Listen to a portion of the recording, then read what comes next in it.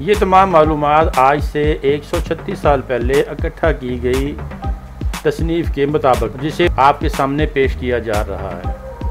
ताकि पता चल सके कि आज से 136 साल पहले उन लोगों का, इन ज़ातों के बारे में क्या ख्याल आते ताकि सब इससे आगाह रह सकें कि वो लोग उस वक़्त इन लोगों के बारे में क्या ख्याल करते थे।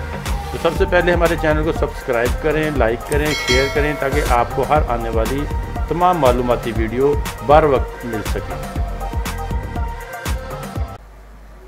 बावरिया।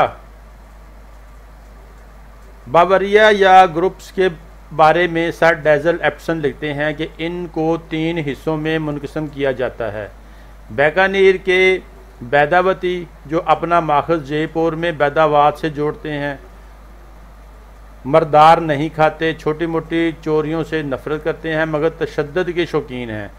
वो गाय या बैल नहीं चुराते, वो बाकियों पर बरतरी रखते हैं। दूसरे जंगली या काल कमलिया अक्सर सिख रियासतों, फ़िरोज़पुर और सरसा के जंगल देश में मिलते हैं। इनकी औरतें काले लिबास या कमली ओढ़ती हैं।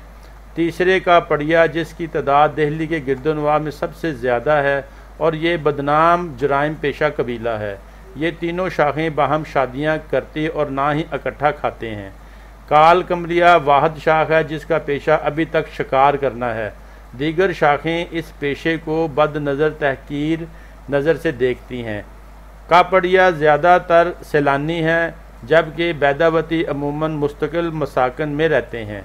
बाबरिया अपनी ही गोद में शादी नहीं करते और कहा जाता है कि दुल्हे की उम्र दुल्हन से ज़्यादा होना लाजमी है। अंधे या काने की शादी अंधी या कानी औरत से ही होती है। इसी तरह खूबसूरत, बदसूरत औरतें अपने ही जैसे मर्दों से शादी करती हैं। किसी और ज़ात की औरत से मेल मिलाप रखने वाले मर्द को बरदरी में बैठकर हुक्का कशी की इजाज़त नहीं दी जाती। बेवफाई करने वाली औरत की ज़बान पर सुरख गर्म लोहा रखा जाता है। पखीवार मरकज़ी तौर पर सियालकोट, फ़िरोज़पुर, गुरदासपुर अज़ला में मिलने वाला एक जराइम पेशा और सैलानी कबीला लाहौर में पाए जाने वाली पखीवार बिलअमूम जराइम पेशा नहीं, लेकिन सब्ज़ियाँ फ़रोख्त करके रोज़ी कमाते हैं। चनाचे कंजड़े भी कहलाते हैं। इन्हें चिड़ी मार भी कहा जाता है, क्योंकि परिंदे पकड़ना इनका मौरूसी काम है। इनकी अपनी रवायात के मुताबिक मुग़ल शहनशाह ने फ़ौज के किसी अफसर को एक महम पर रवाना किया, लेकिन उसने शिकस्त खाने के बाद कंगरों की एक झोंपड़ी में पना ली और फिर इनकी एक लड़की को बीवी बनाया। उसने एक कंबल ओढ़ कर शादी की, रस्म पूरी की, जैसा कि सियालकोट के पखीवारे आज भी शादियों पर करते हैं। ख़तरा टल जाने के बाद फ़ौजी वापस गया, लेकिन शहनशाह ने उसे तनजन पखीवार यानी झोंपड़ी में रहने वाला कहा, वो दरबार से निकाले जाने पर सियालकोट में आन बसा। पेशे के दबार से पक्षी पखीवारे परिंदों के शिकारी, सब्ज़ी फरोश, पानी, बरदार और माहर चोर नकबजन हैं।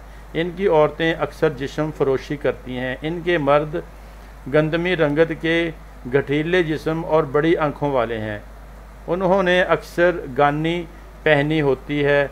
हारनियों की तरह इनकी औरतें भी पेटी कोट पहनती हैं। तमाम पक्षी वारे मुसलमान हैं। बड़गोजर।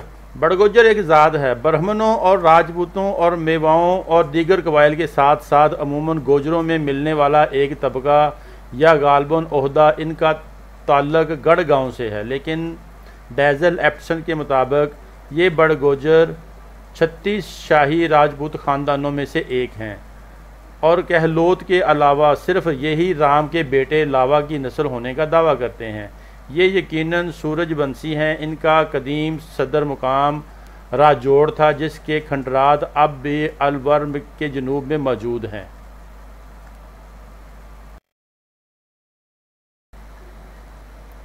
बाट या बात अमृतसर में एक ज़रात पेशा जट कबीला है।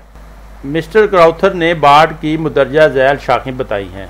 बट, धूल, जंदोल पुफर्त जंदीर, देसी, ततला, ओजला घुमन गमान, कख, धावल, जानवा, यानी जिसे जंजुआ कहते हैं, रंधीर, मदरी, सदरी होती, सीती, करबत, इन तमाम शाहों का मर से आला सीन पाल बताया जाता है, जो 800 बरस पहले मालवा से आया था।